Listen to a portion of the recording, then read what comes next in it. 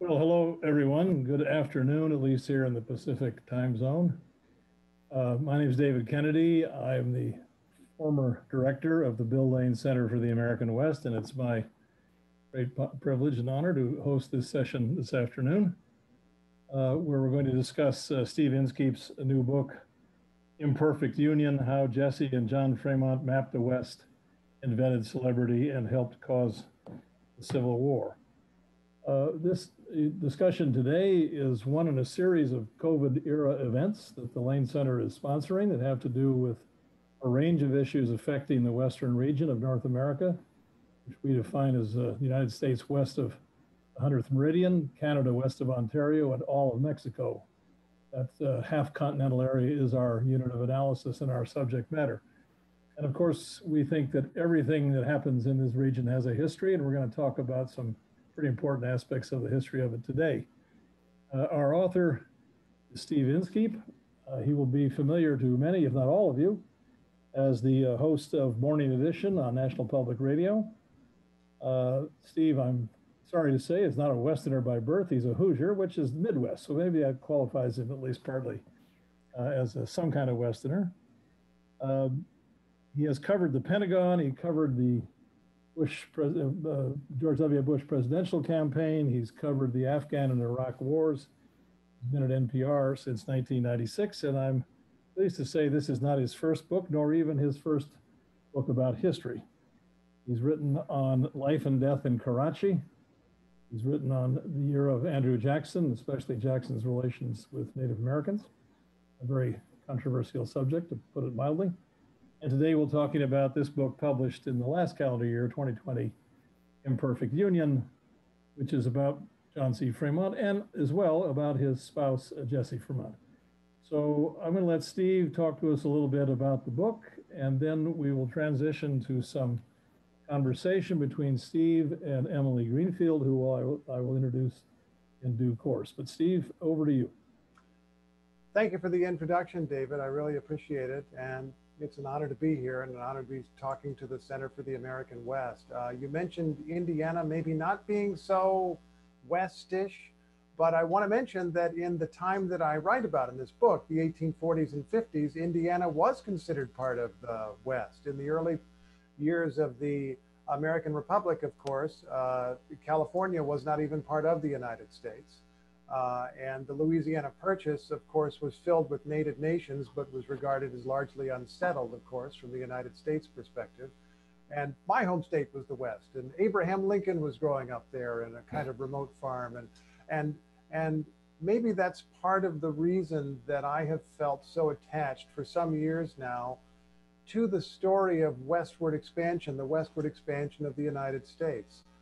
Both of the histories that you mentioned are uh, about that theme. The story of Andrew Jackson and the Cherokees is an early story of America's westward expansion. In that period, the American Southwest was not New Mexico or Arizona. It was an area that became the states of Mississippi and Alabama, uh, or Southwest or the panhandle of Florida. And Jackson was deeply involved for more than 20 years in the effort to, to put it brutally, clear that area of Indians, uh, relieve them of their real estate, and move them out west of the Mississippi. Having told that story, having learned that story, I wanted to go on and uh, learn more of it and learn more about America's westward expansion, which is how I came to the story of the Fremonts. John Charles Fremont, as I'm sure many people watching know, uh, at least a little bit, maybe a lot. John Charles Fremont was a Western explorer. In 1842, he set out on a U.S. Army expedition to map a portion of the Oregon Trail, getting as far as uh, the Continental Divide and just a little bit farther in what is now Wyoming. He went on several more expeditions but one of the things that I learned about him that made him so interesting was that, and, and I think that makes him in a way uh, symbolic of the story of the West. He was exploring, but it was not entirely new ground. Of course, there were native nations that had traveled that ground for generations, and there were even by the 1840s a generation or two of American fur trappers, even a handful of settlers who had traveled the Oregon Trail, who had moved out into uh, the, the Great West, as the Fremonts like to call it, to distinguish it from that other West of states like Indiana. And he was not traveling entirely unexplored ground for the most part. His job, his mission was to publicize. He was mapping that territory so that it would be better known. He was mapping the trails so the trails would be easier and safer to follow. And he was coming back to his home base in Washington, D.C., which is where I am right now, uh, to write best selling accounts about his adventures. He was good at newspaper publicity. His name was in the papers all the time, as every movement was covered by the papers. He would write these official reports for the United States Army. He was a U.S. Army officer, part of something called the Corps of Topographical Engineers that took on missions like mapping the West. He was writing a report for his superior officer, which is a thing that every Army officer learns to do after every engagement or mission or anything else. And so ordinarily you would think it is a report for one person's eyes. And in fact, he would address it to his superior officer, but he was writing it as a book for the general public. And his reports, there were multiple reports as he went on multiple expeditions, would be published as books for the general public. And they were beautifully, lyrically evocatively written. They were first person accounts of his adventures with sometimes a few dozen men moving through the American West. Uh, he went on a second expedition all the way up the Oregon Trail to Fort Vancouver, uh, what is now Vancouver, Washington, right across the river, of course, from Portland, uh, what is now Oregon, um, doing further mapping. And then uh, starting back at the beginning of winter, decided that it would be a very clever thing and a very smart thing to uh, not go back on the Oregon Trail, not go back on the safest route, not wait for the passage of winter, which would probably be the smartest thing given the severity of the mountains, but to try to hack out some new route through Oregon and across what is now Nevada to find some new trail that got back to the east. It didn't work, and he ended up realizing that he and his men were going to starve on the uh, western side of the Great Basin, the eastern slope of the Sierra Nevada mountains, unless they could hack through these snowbound mountains in the middle of winter and make it to the Central Valley of California. And once there, get supplies and try again a little bit later in the year to, to head home again. It was in that way that John Charles Fremont got to California for the first time. Uh, I mentioned this because in some ways he was a very strange and erratic leader who went on risky missions into semi known territory. It certainly could be hazardous territory, uh, but he made his missions more hazardous than they need to be. He frequently risked the lives of his men. Uh, as we go through this book, eventually there'll be a mission where things will go catastrophically wrong for many of his men. But he was seeking some kind of drama. And I don't think maybe, maybe drama isn't exactly the word. He was seeking accomplishment.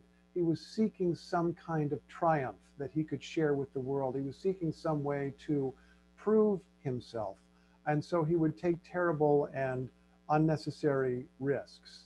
And then he would go home and turn these terrible risks into quite dramatic stories. When you read his account of going over the Sierra Nevada mountains, down into California, you almost feel like you were there with him.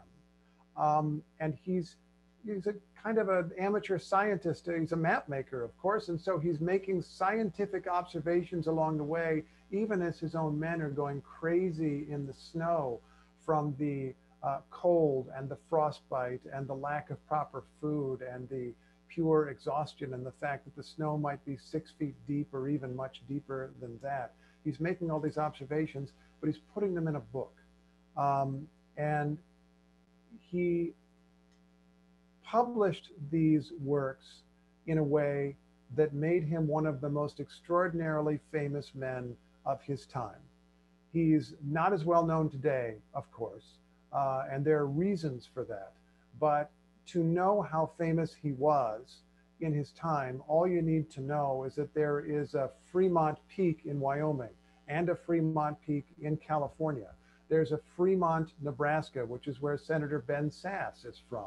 There's a Fremont, California, which is a bit newer. It's not from his time, uh, but it supplanted a different town called Fremont near Sacramento that, so far as I can tell, no longer exists. There's a Fremont neighborhood in Seattle, which is named after Fremont, Nebraska, where some people were from. There's a Fremont, Ohio, that got its name as the advocacy of a young lawyer named Rutherford B. Hayes, who later became president of the United States. There were things called Fremont all across America, and his explorations were so important, regarded as so important, that there was a magazine in 1850 that described John Charles Fremont as one of the world's three most important historical figures since Jesus Christ. According to the magazine writer, the other two were Columbus, who discovered America, which is, of course, not how we would phrase it today, George Washington, the founder of his country, the great country of the United States, and John Charles Fremont, who completed it, which is a thing that I want to talk about in a moment. But first, I want to bring in somebody, the other character, the other main character of this story, a person who helped to make him famous. Uh, his wife, Jessie Benton Fremont, was a remarkable character all her own, and a major reason that Fremont became an important figure, and certainly a reason that he became such a famous figure. She was from an elite background, but she was not. She was the daughter of a United States Senator from Missouri who had a big interest in the West. It was the westernmost state at the time, and he felt a paternal interest in the entire American West, Thomas Hart Benton. She was better educated than many girls were allowed to be. She was clearly ambitious in ways that her gender at that time would not permit.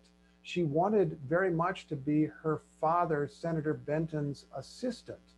She used to tag along with him as a little girl as he visited presidents of the United States she would tag along with him as a little girl as he went to his business in the United States Senate, and he would drop her off at the Library of Congress for safekeeping so that she would have something to do. She learned languages well enough that she could converse with foreign diplomats in Washington in their languages. She had enough confidence that she was happy to make her case for various issues to multiple presidents, ranging from James K. Polk to Abraham Lincoln a remarkable character, but she could not do all she wanted because of her gender. She wanted to be, at one point, she said to her father, she wanted to effectively live life as a man, abandon Washington society that she was expected to play a role in as a woman, and be her assistant. Uh, she even cut off her hair to show her father how determined she was to do this.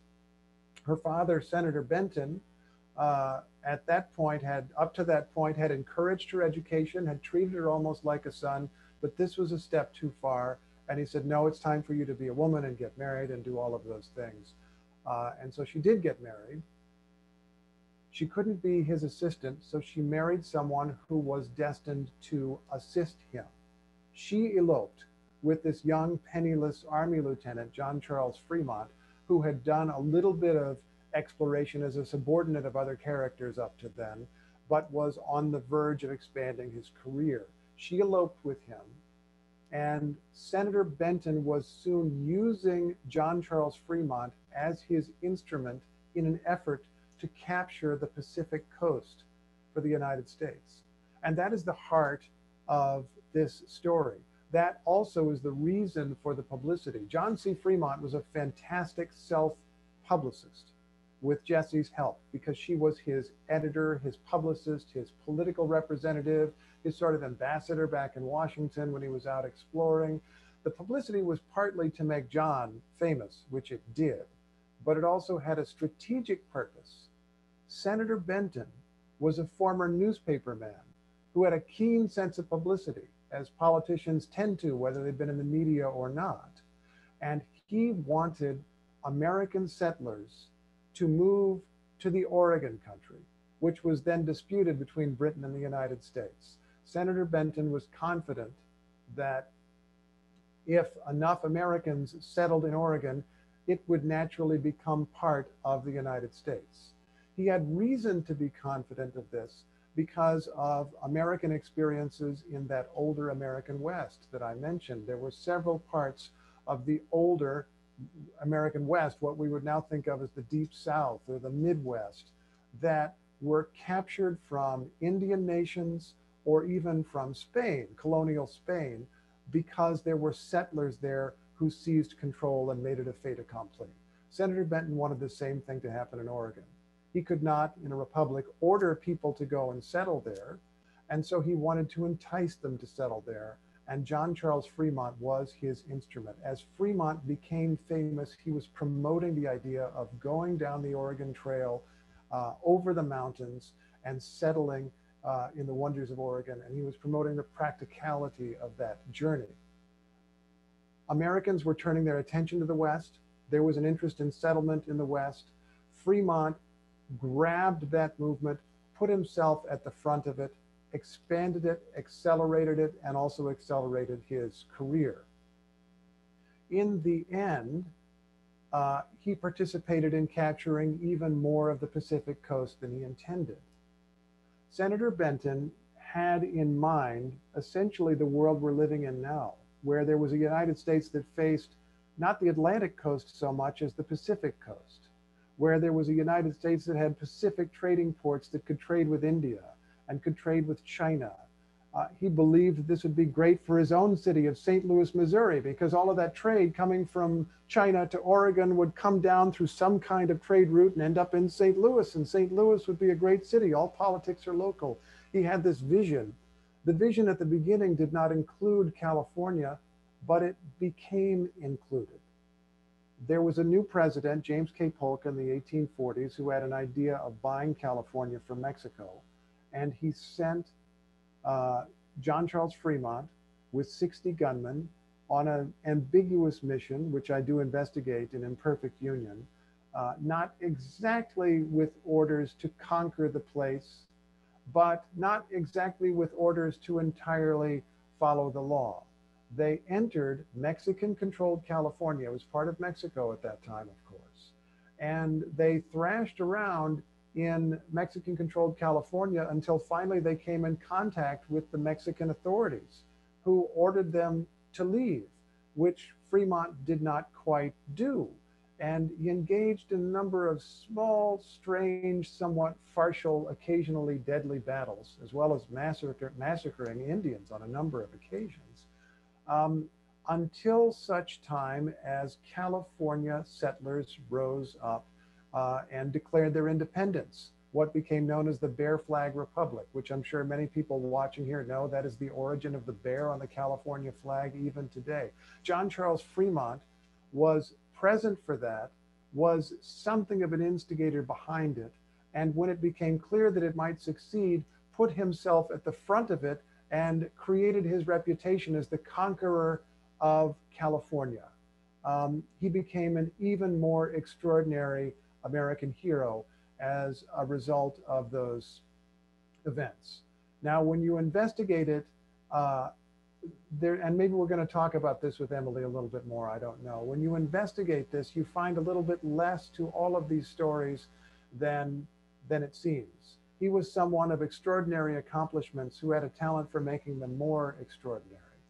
There was a particular occasion on one of his explorations in which he decided, simply for the glory of it, to climb the highest mountain that he could find. He put a number of his men at risk climbing with him. They didn't plan the mission very well. They nearly died a couple of times. It took them extra days to get up to the top. They got up to the top of this mountain, planted the American flag on top, and Fremont looked around, it was 1842, and he decided this must be the highest mountain in all of North America. And so he came back and wrote of his triumph of planting the American flag on the highest spot on the continent. And people celebrated this. It was like the moon landing, planting the American flag on the moon in 1969. Uh, of course, he had no reason to know that it was the highest mountain in North America. There weren't very many people who had been to the top of very many mountains uh, with instruments to measure barometers and so forth to measure the altitude of any mountains. It turned out it wasn't even in the top 100 mountains uh, in North America, but he got this success and it was part of his fame, which led ultimately to a political career, which is one more part of this extraordinary story.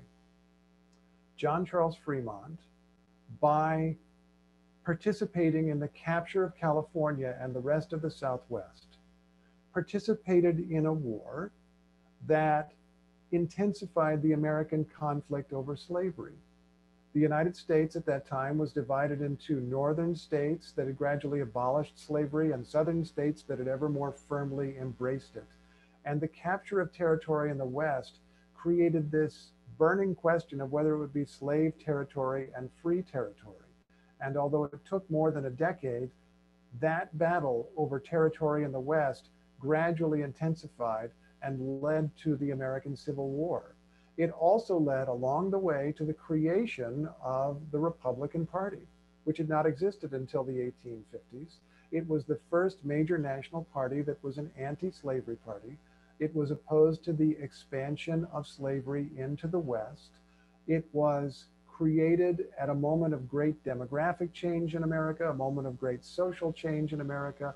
And the Republicans, in their very first presidential campaign, decided that to coalesce this party, to bring its different elements together for their first campaign, they needed some super famous figure, and they chose John Charles Fremont, who ran in 1856. He was the Republican nominee. He was very famous, and by then, his wife, Jessie Fremont, was also extraordinarily famous. And in fact, to some people, it almost seemed as if a husband and wife team were running for president. It was widely understood that she was perhaps politically smarter than he was, perhaps in many ways smarter than he was, uh, had probably made fewer mistakes than he had made. And women were involved in the anti-slavery movement and took her up as an anti-slavery, uh, anti-slavery symbol. It was in many ways a modern campaign, and it was a story that points me to many of our modern struggles because it was a time of a changing America. It was a time of a diverse America that was becoming more so. The United States had captured not only California, but all the people in it hundreds of thousands of Indians, thousands of Mexicans who, with the change in borders, became listed in the United States Census as foreigners, even though they were in California where they had been born. It was a time of increasing diversity where Americans had to struggle with that. It was a time of great immigration, and there was an anti immigration movement that was a major factor in that 1856 campaign. And it was, of course, a battle over race because it was a debate over slavery and it was a time when a divided America was changing demographically. In the 1850s, this is what the change was. The North, the anti slavery section, had become ever more populous and became more populous still when California entered the Union in 1850 as a free state. And by becoming more and more populous, it became possible for the North to elect a president, conceivably, with Northern votes alone. This was seen as a profound threat by the South. The South had always had great influence in Washington and suddenly saw itself shut out of power in Washington. They would no longer have half the Senate because they traditionally had half the states. They might no longer have a president again. And Southerners argued that if a Republican ever won, they would secede from the Union. Now, the Republicans narrowly lost, somewhat narrowly lost, in 1856. John Charles Fremont failed, but the Republican cause, the anti slavery cause, continued. And Abraham Lincoln pursued the presidency with essentially the same strategy that Fremont had in 1856, and Lincoln won, which brought on the Civil War. So it was this period of profound change in America, demographic and otherwise, which created profound anxiety. And I think it's one of the reasons that this tale, one of many reasons, honestly, that this tale feels relevant now. Now, if you read the book, you'll decide if I bring out the relevance or not. But the material, there's no doubt about it, how it reflects upon our time. And one of the lessons that I've learned in going through this material is that politics becomes especially tense and even potentially violent when people become convinced that their side is losing forever. One of the great blessings of a democracy, part of the genius of a republic, is that you lose the election maybe, but there's always going to be another election. You run for office, you lose, you can run again. Your candidate loses, you can run again. Your cause loses, you can fight another day. There'll be another election next year, two years, four years from now. It goes on and on. Nothing is ever over. But there are periods where the country is changing, where one side or both sides have feared that they will be shoved out of power forever. The 1850s, leading up to 1860, was such a time in which Northerners said, if the South is able to expand into the West and create new slave states, they will have too much power and they will control us. And the South said, if the North succeeds in this gambit of a Northern only presidency, elected only with Northern votes, we are shut out of power forever. And that fear, justified or not, drove people to extremes. It is a circumstance that we find familiar today, I think. We've just been through an election where one side was persuaded that if President Trump won a second term, it would be the end of democracy. And many people on the other side were told by President Trump, this is, and this literally said this in campaign speeches, this is your last chance. It is your last chance before we're overwhelmed by illegal immigrants. In effect, before we're overwhelmed by demographic change, by people who are not like us. Um, that is a large part of the fuel that drove extreme politics in the 1850s. It's a large part of the fuel that has driven extreme politics in our time, and it's a large part of our legacy. Um, one thing to remember, though, and this is the last I'll say before I turn it over to Emily, we should remember that even after 1860, even after the southern states seceded, even after they fired the first shot and triggered the deadliest war in American history, there still was another election. In a democracy, if you keep it, nothing is ever over. There was an 1864 election in the middle of the war. There was an 1868 election after the war. The fight continued for better or worse. And various causes we can think about, like the cause of freedom and equality, the cause of anti slavery, the cause of racial equality after the war. It goes on and on. Sometimes we suffer a setback, sometimes we leap forward. Very often we lurch sideways. Most of the time, I think we're in the middle of things and we don't know if we're going forward or backward. I'm aware that most Americans uh, tell pollsters that uh, we are going backward as a country right now, that things are terrible as a country right now. And it doesn't even matter how you feel about who won the election. Uh, people feel the country is in a terrible state. And there are many objective reasons to think so, from the deaths of the pandemic to the assault on the United States Capitol to any a number of other things, the economic distress, any number of other things we could go through. And yet, as a journalist, as a historian, I'm not convinced that we know which direction things are headed now. I'm not convinced that we know for sure which events were the terrible ones and which events, however terrible, may, like the Civil War did, bring an advance in our society. And I'll stop there. Um, John C. Fremont clearly was a remarkable human being. For those of us here in California, of course, his historical significance is quite enormous. He was the first military governor of California, first senator from California. And then, of course, as you rightly say, becomes the Republican Party's first presidential candidate in 1856. So those bare facts alone, I think, constitute a pretty strong claim on our attention today, a century and a half later, more than a century and a half later. And I let me just interject before I hand it over to Emily Greenfield. Um, that I found your book a remarkable, a remarkable combination of the panoramic and the intimate.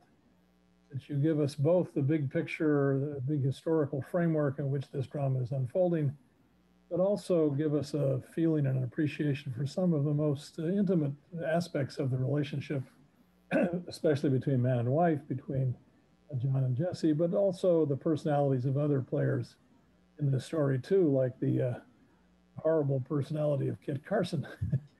uh, and the ambiguous personality, I guess I'll call it, of Thomas Hart Benton. So I, I found the book a really informative and enjoyable read. I'm going to hand the uh, reins over here to Emily Greenfield to have a bit of conversation with Steve and to uh, field some of the questions that are coming in from those of you out there in the digital world. Uh, Emily is a graduate of Colgate University, Colgate University and an advanced PhD candidate here in the Department of History at Stanford. Uh, she has a special interest in issues involving slavery and race in the 19th century which uh, qualifies her as an eminently sensible interrogator for or interlocutor with uh, our author today. Um, Emily did have a life before graduate school. Uh, she was the uh, director of strategic communications at uh, Thomas Jefferson's Monticello in Virginia. And she was also an Emmy Award winning producer for CBS News Face the Nation with Bob Schieffer. So, uh, Emily, I'm going to hand it over to you to have a bit of conversation with uh, Steve, and please take it away. Thanks, David. Uh, Steve, I wanted to say first, you, whether you knew this or not, you read me the news this morning as I drank my coffee, and now I get to close out my day talking to you about history. So that's pretty much a perfect Tuesday in, Thank in you my for- books. I appreciate that. Um, before we talk about John and Jessie, and there's lots to say there, I want to pull back the curtain and ask you just one question about process. Sure. So you seem to have, um, on a regular basis, one foot in journalism and one foot in history. And I think I should probably be asking you how you find time to do both of those things. But what I'm really curious about is how you approach these two projects. So, how is researching and writing history different from researching and writing the news? One feeds off the other. One can be also a relief from the other. And every once in a while, you fear also that you're looking in the wrong direction at the wrong time. Um, studying history has given me a richer appreciation of the news that I cover every day. Um, and there are references to history that prop up in my crop, crop up in my news writing all the time. Sometimes it's really explicit. You know, I'll write uh, something for the Atlantic about Abraham Lincoln or Andrew Jackson, or for the New York Times about the Fremonts. Sometimes it's more implicit. It influences the questions that I ask in interviews. When I'm interviewing somebody on the radio, um, I don't know, maybe this will surprise you, maybe it won't. I mean, there you, you can, as an interviewer, sit there and think, well, there are questions that I kind of have to ask or you can think there are questions I can ask that make me seem really smart, or you can let those things go, which I hope interviewers do, uh, or at least what I try to do. Maybe others have a different idea. You can let those things go and just ask questions that you really want to know the answer to and that you think really matter. Not little procedural questions, but questions about the big issues about where a policy is going, how people will really be affected over time how it's really different from uh, how it's been done in the past. And I would like to think, if I do it right, which others will judge, that studying history is a great way to have that long perspective on what feels like really matters. Um, studying history also helps me with the news because I keep seeing earlier versions of the rhetoric that we use today earlier versions of the paranoia that people may apply today, earlier versions of the uh, racial rhetoric that people will use today. Uh, we collectively, uh, those who may use different kinds of, you know, racism, uh, let's let's just admit that some people do, uh, have become much more subtle about it, and yet the appeals resonate with things that have been said in the past. I think actually some of the ways that we've cleaned up our racial language in this country have actually obscured things rather than improved things because people say racist things, but they don't use the N word anymore. And so they don't even quite recognize that when they're talking about crime in cities, for example, that they're talking about Black people and the fear of Black people. Um, so you get a perspective on that from studying an earlier time in American history and seeing some of the same appeals just with the words changed uh, a little bit. Um, covering the news also influences how I write history because I write, uh, there's a lot in this book that's set in Washington, D.C., that's set in the White House, that's set in the United States Capitol. And I've been inside and all over those buildings as a reporter in some of the different rooms in the White House where things happened. Um, the old House of Representatives chamber is now Statuary Hall, and you can walk around in it. Um, uh, tragically, uh, a mob was streaming through it on January 6th. That was the home of the House of Representatives, where a lot of important things happened in the 19th century, and even today is filled with statues of figures that were sent by each of the 50 states and were, for one reason or another, considered great by various of the 50 states, even though I think a lot of this, a lot of us would consider some of those figures awful people if we got into it, but some of them are fascinating. Um, anyway, So as a journalist, I get in there and I get, I get a chance to see that and they bounce off each other. I was going to say it's interesting because this book reads as a very modern story. And so the intersection of sort of journalism and history that you're describing makes a lot of sense in that vein. Okay, um, let's let's get to the Fremonts. One of my favorite 19th century sources is a series of US history textbooks that run from 1828 to 1873. So most of both Fremont's lives. Um, and I checked this morning and Fremont appears, John Fremont appears zero times in the Wow. 1843 edition of the book. Uh-huh. But 10 years later, by 1853, he appears a whopping 31 times, more times than Thomas Jefferson. Hmm. So to me, this is one of the stories that your book unpacks this kind of rapid ascension from obscurity to Jefferson or Jesus level fame, you know, in under a decade. And what I thought I'd ask you first is to ruminate on the set of forces that collide to make this possible. I mean, how did Americans discover John C. Fremont? Well, there was his gift for publicity. Um, and I think that he, I mean, I argue that they invented celebrity. I don't mean to say they were the first ever famous people, but they invented a particular kind of celebrity where you generate it yourself through your own work for publicity while you're actually performing the event. It's not that you are famous years later for a battle that you won, or you're famous for the position that you hold, like president. He was never president, but he's going out and having these adventures in the West and like leaving word in the newspaper at St. Louis what he's doing so people can follow his progress and making sure to find a reporter when he gets back. Um, and that leads to the next point that led to his and their really extraordinary fame, and that's the development of the news media. Since you know this period well, you know that this was a period of great expansion of newspapers. There was a time at the beginning of the country where there were dozens of weekly newspapers and then a handful of daily papers. But by the 1830s and 1840s, we're talking about many, many hundreds of papers, and a number of them are even daily newspapers. And in 1844, Samuel Morse demonstrated the telegraph, which within a very few years connected all of the major cities in the United States in what we would see as the Eastern United States now, anyway. And they were used to transmit news instantly.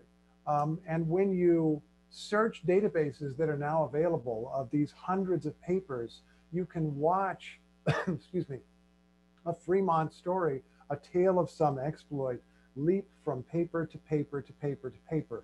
It might take weeks, it might take months, but a newspaper, either with a telegraphic dispatch or simply by mail, they would get a story and they might reprint the identical story they'd received in the mail from another newspaper, the same way that we would share things on Twitter today, or that, you know, one of those news aggregator sites, Huffington Post or whatever, might rewrite somebody else's story with their own spin. Newspapers would take the news from other papers and repeat it. And so there was this gigantic national conversation that was becoming richer and deeper and speeding up dramatically just as the Fremonts came on the scene. Um, they were famous, in short, because they worked at it, because the media were available to make it possible for the first time in that way, and also because they attached themselves to a great narrative, the narrative of America's westward expansion, which to many white Americans was the story of the country at that time. So let's let's talk about that narrative a little bit. Um, you did you did this a bit for us in your comments, but I'm hoping I can ask you to give us a bit more of a geography lesson. What Sure. did the West actually mean when John set out with his team in the 1840s, and how did his work change American notions of the West? Yeah, um, I was fascinated to encounter this uh, phrase, the Great West, that Fremont uses in his writings. And it appears he called what we know as the West the Great West to distinguish it from that other West that was Indiana and Illinois and, and Alabama and Mississippi and, and that sort of thing. So it was this gigantic area that had, uh, as far as the Louisiana Purchase went, belonged to the United States for a couple of generations. And then it was this undecided territory of Oregon, and then it was Mexico. Uh, it was three giant chunks, each of which was the size of an empire anywhere else in the world. And it was well known by individuals who had been through individual parts of it, but not well understood as a whole. Uh, you, meant, you asked for a geography lesson. John C. Fremont was giving the whole country a geography lesson because he mapped areas that were not understood. People didn't understand how the continent worked. Um, people didn't understand like the continental divide. That was not a thing people had quite mapped or gotten in their heads. People didn't understand where the rivers flowed. Um, there apparently was a map. Fremont describes this map uh, in the Library of Congress at that time that showed the Great Salt Lake and three rivers flowing out of the Great Salt Lake and reaching the ocean at various points. There was supposedly a river that went from the Great Salt Lake all the way somehow through the mountains and flowed into the Pacific. And there was another river that went down, I think, to the Gulf or something. Um, I mean, it was just uh, nothing that actually existed, but there were maps that were based on some work of cartographers, the travels of explorers, and rumors and stories that had been passed down from different people, along with some speculation. Fremont was the person, one of his genuine uh, discoveries was the person, he was the person who established that if you go into the region of the Great Salt Lake, there's a vast area encompassing several states where no river ever reaches the sea. And he called it the Great Basin um, and mapped a good part of it and traveled around enough of it to confirm his hypothesis that there was no such thing as a river that went from the Great Salt Lake to California. So he gave a geography lesson just explaining what was there. Um, there were all these myths about a great American desert, um, which uh, there's different ideas of what people even meant by desert when they said that. But he established that whatever was in Nebraska, as we would now call it, it wasn't desert exactly. Uh, it was something that you could travel through and you could find some wood and you could find some water. He also traveled through authentic deserts and found uh, ways through them. So he was just giving a coherent explanation, a far more coherent explanation of the West than America had previously had. But I do want to make one more point before I go on because you asked me what the West was in the American imagination. It was resources, it was furs, it was, before too long, gold, it was money, it was land. Uh, I think by and large, it was not thought of as a place that was already inhabited by people. And to the extent that it was inhabited, those people were considered an inconvenience. Um, it's really interesting to watch John C. Fremont's relationships with Indians because, I mean, he's obviously racist about them. Uh, he's obviously patronizing toward them. There are a couple of occasions in California and Oregon where he sends his men to massacre Indians for reasons that don't seem very good at all. Um, yet at the same time, he traded with Indians. He depended on them for sustenance quite often. Uh, he, he relied on some Indians even in his mission. Some of his men were Indian. Uh, he respected them on some level as individuals, but he was a believer in this idea of the westward march of civilization, that barbarians were out there and civilization had come from Europe and reached the Atlantic coast and was now moving westward and westward and westward. It's interesting. I think, in addition to the sort of physical mapping that you describe, you've touched on one of the really powerful themes in this book, which is that the Fremonts reflect both the kind of power of westward expansion as a political and cultural ideology and its darker undertones. That Fremont sort of lives both of those realities in in the way that he moves Oh, in this yeah. historical Yeah, space. I mean, he's he's this guy. I mean, he's not like a conqueror who's marauding around and deliberately committing genocide. He's actually he thinks he's carrying the the light of reason, you know, and of science. And in a way, he is. I mean, it's a complicated story, but he's also participating in this awful event that made America what it is, but also harmed a lot of people along the way. So one other question on the on the subject of westward expansion, which as you've described is closely related to the history of slavery in this moment. When I teach um, anti-slavery thought to undergraduates, one of the things we do together is kind of historicize that term. So we draw anti-slavery as a big tent that encompassed lots of different ideas, and we talk about how these ideas changed over time Really. and how they weren't necessarily most often weren't synonymous with kind of anti-racism thought as we imagine it in the 21st century.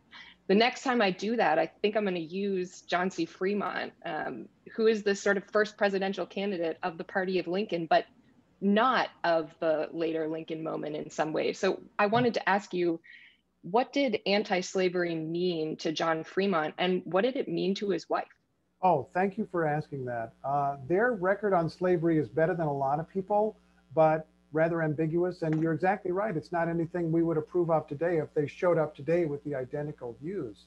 Um, this is a period where there were anti slavery advocates and also abolitionists, and they were different people.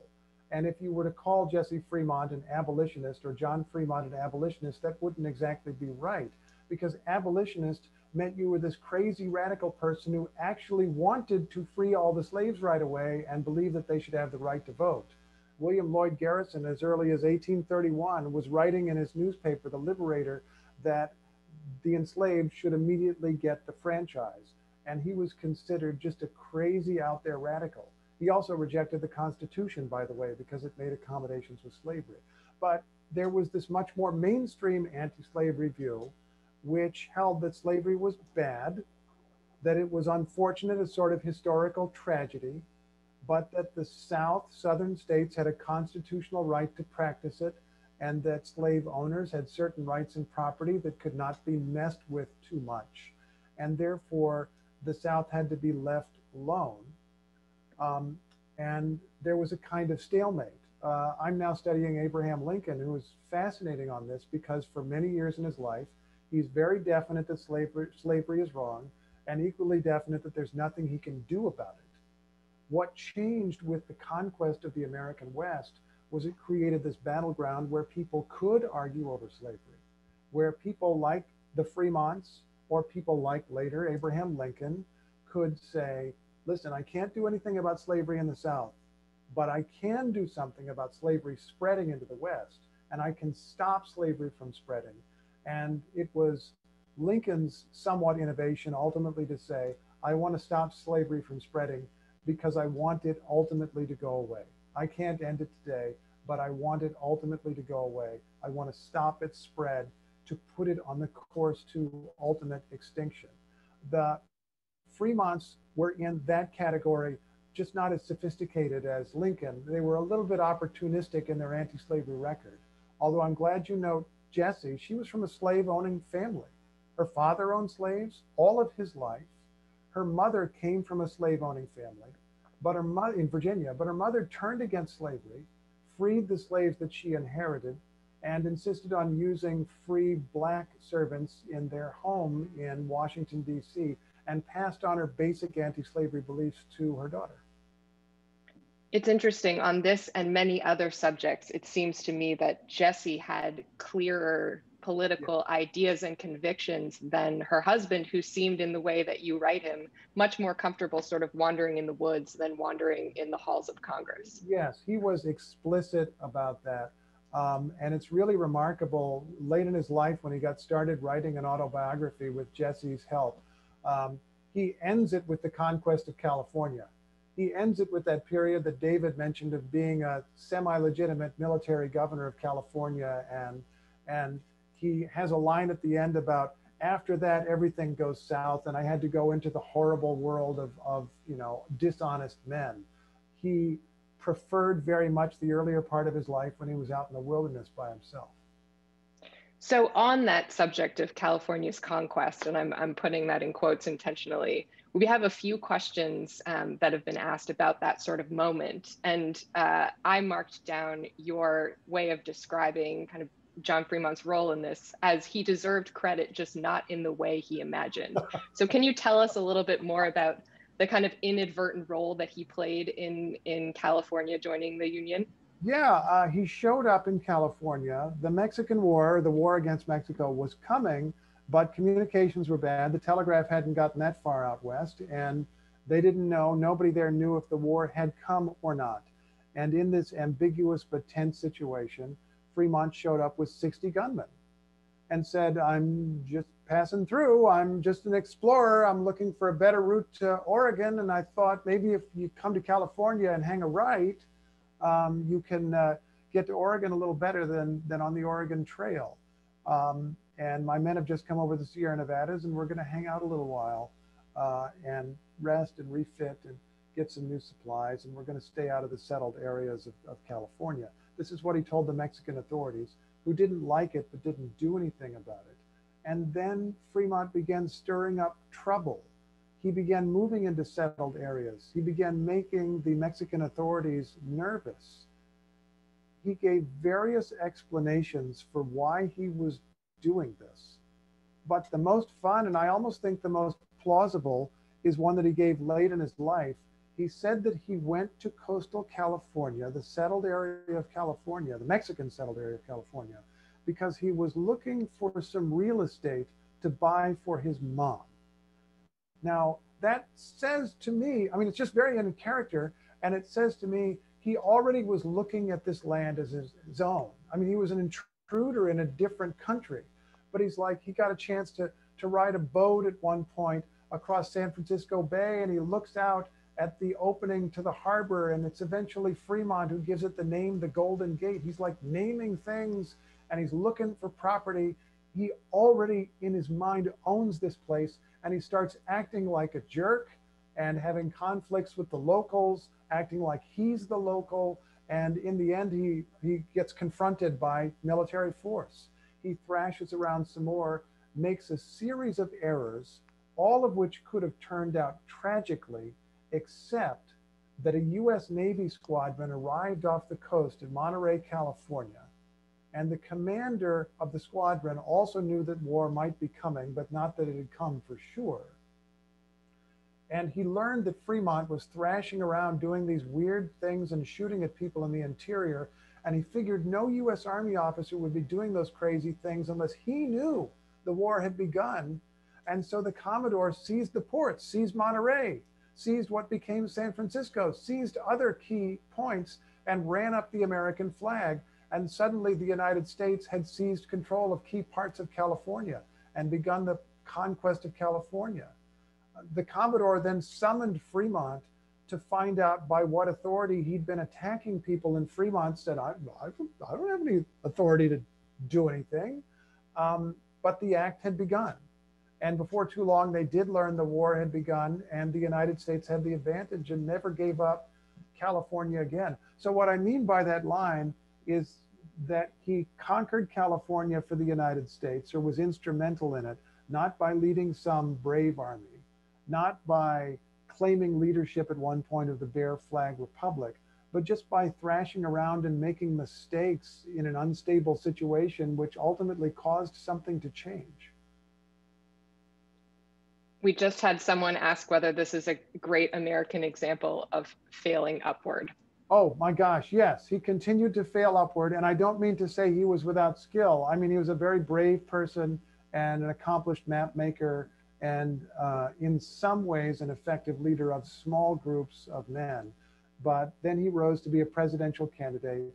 Um, it was important that he was nominated. It was important to American history that the Republican Party coalesced around him and went on to elect Lincoln. But even some people around him who supported his nomination later said, thank God he was never president because it turned out he was a terrible leader of large groups of men. He became a general in the Civil War and was fired twice by Lincoln. So we maybe have time here for one more question, and I see a couple on the theme of um, the sort of longer relationship between the Fremonts and California. So tell us kind of where he ends up at the end of his career. Tell us where Jessie ends up. My understanding, based on your book, is that they feel very differently about um, about the state. Uh, yeah, yeah, it's absolutely true. Jessie really wanted to get there. Of course, her husband had been there a couple of times, but finally, after the conquest, uh, which I'm happy to keep putting in quotes for you, um, after it became part of the United States, she traveled by a somewhat safer route down by boat and across Central America to the other side to meet him in California. She wanted to be there. And they ended up living this kind of bi-coastal life going back and forth. He was elected by acclamation, one of California's first two senators. Uh, he was considered a great hero there. Uh, later, he lost his bid for reelection, by the way, because he just wasn't a very good politician. But he was considered this heroic figure. And at the end of their lives, late in their lives, in 1887, I believe, his health was failing. They had blown their money. He'd made a fortune. In the gold rush, by the way, we haven't even mentioned the gold rush. He bought land in California that had gold under it. Uh, he'd blown the fortune by 1887. They were poor, but she managed to get a railroad magnate to Collis P. Huntington to hand them railroad tickets, and they moved westward to Los Angeles, where she intended for them to uh, for him to be healthier in the climate and for them to end their lives. But this guy, who'd always been restless. He'd lived in the East, but was always restless, always wanted to go out into the West, always wanted to go out again. Uh, spent a little time in Los Angeles and then became restless again and started back east. And he ended up dying in New York City away from her, but she remained in Los Angeles and was considered a link to a brilliant past and a heroic figure. And after his death, when she was broke, women in Los Angeles raised money to buy her a house for her to live. And so she ended her life, surely not the way that she wanted, but with a degree of respect and honor. Thank you, Steve. I'm watching the clock and I'm going to turn things back over to David. But the last thing I'll say is that for anyone who is stuck inside in the you know age of the pandemic, just the movement of people in this book across the United States makes it the kind of perfect read for for COVID times. So I hope all of you will enjoy it as much as as much as I did. Thank you so much.